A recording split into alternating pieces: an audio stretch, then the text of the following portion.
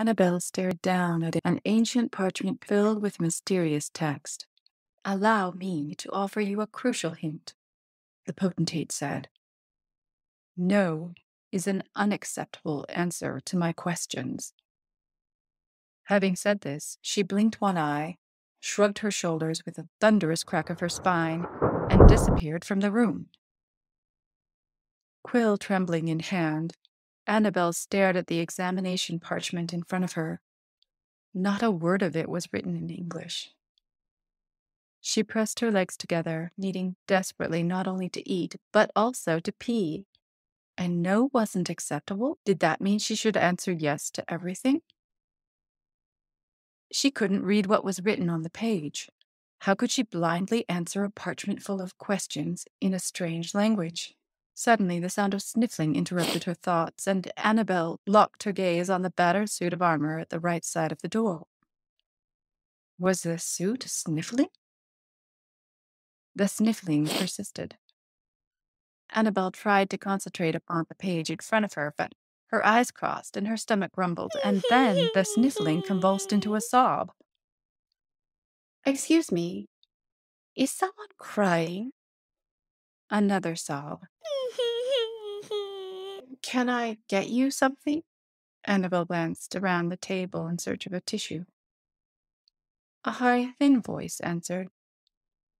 Since you ask, would you be so kind as to pick up that platter of shortbread cookies and carry it over here to me, please? Remembering the shock she'd already had from that cookie platter, she shook her head at the suit. I won't. I don't trust it. You don't trust it only because you don't know how to do it properly. Remember, you're in fairy, and one better, you are at court. You oughtn't to reach out and paw cookies with your filthy little hands. What kind of manners is that? To do it properly, you must have someone offer them to you. Or you must offer them to someone else. You want me to offer you a cookie? Annabelle arched one eyebrow. Well, I don't usually eat sugar, but since you mention it, I haven't eaten since the potentate trapped me in here, and it's been weeks. Annabelle gasped. Weeks trapped in a suit of armor without food? Perhaps he had really deserved it, and she shouldn't interfere. But then, she had her own problems and needed some interference herself. If I bring you that plate of cookies, will you help me translate my examination? I'll do better than that if you'll bring me the whole platter. The voice was losing patience. Deal. Annabelle reached for the platter. The silver tray was cool but harmless to the touch. Okay, then. Be my guest. She lifted the platter toward the tall suit of armor. Kindly lift up my helmet's guard, please. Annabelle lifted the rusted out helmet guard, which creaked with age and scarce use. A small elf scrambled out through the helmet guard and plunged bodily into the chocolate icing of the shortbread cookie. At last the elf emerged, frosting plastering his short mustache. Pardon me, much obliged to you, he mumbled to a mouth of cookie. I love these things, he said and licked his fingers. Annabelle's mouth watered. Will you offer me a cookie now? I would, my dear, but I can't lift a platter to make the offer. Sorry, she groaned. Me too. I will have a look at that parchment, though. I'm Raymond, sir, if you don't mind. Sir, you're a knight? Sir Raymond looked a little peeved. Fifth generation. Annabelle frowned. You don't seem to, um, fill up your suit all the way. Sir Raymond grunted. Wait till you're an eon old. Annabelle lifted one shoulder for the elf to hop on. Do you mm-hmm. mind? Sir Raymond hopped onto her shoulder, which was natural enough. He was nearly the same weight as a pigeon. I hope you can read this, Annabelle said, peering down to the inscrutable parchment. Knights are a well educated class. I read and write nine languages. Now let me see. This should be easy. Sir Raymond peered over Annabelle's shoulder. Eh, you good with lion taming?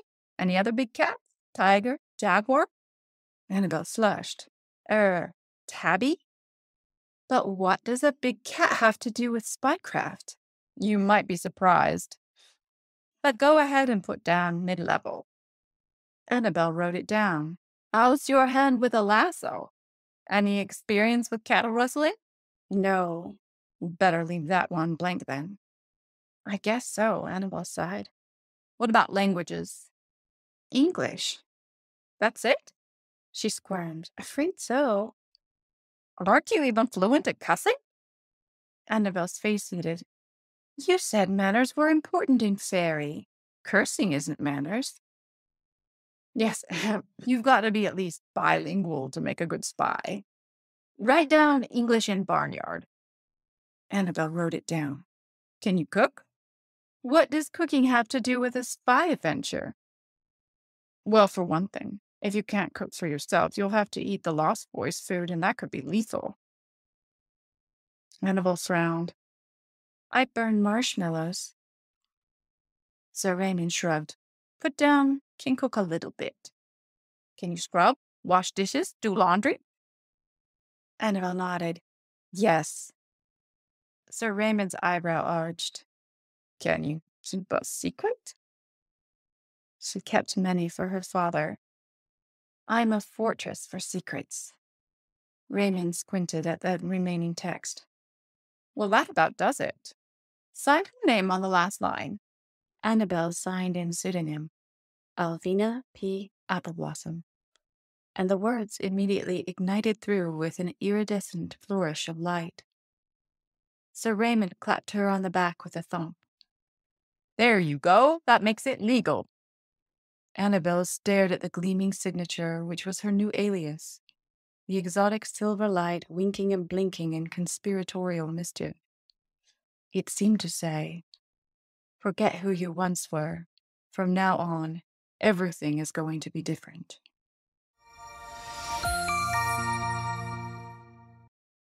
The potentate perused Annabelle's test parchment with a grim frown while Annabelle waited, palms slippery with sweat.